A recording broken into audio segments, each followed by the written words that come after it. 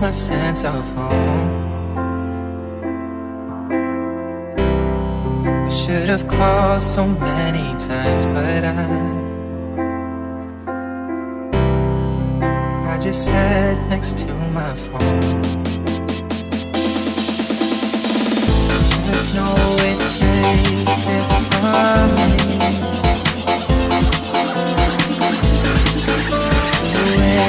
this end